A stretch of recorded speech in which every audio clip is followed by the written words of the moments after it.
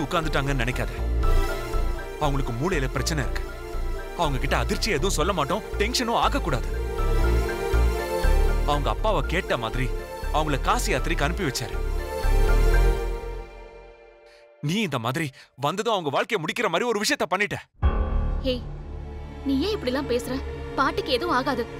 நீ உண்மைய சொல்லியிருந்தா பாட்டி அதை நிச்சயமா தாங்க மாட்டாங்க. அது மட்டும் இல்ல.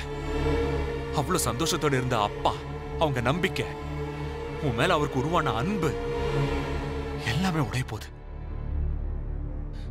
நான் இதை எதிர்பார்க்கல சக்தி. நீ என் பேச்ச மீறுவன் எதிர்பார்க்கல.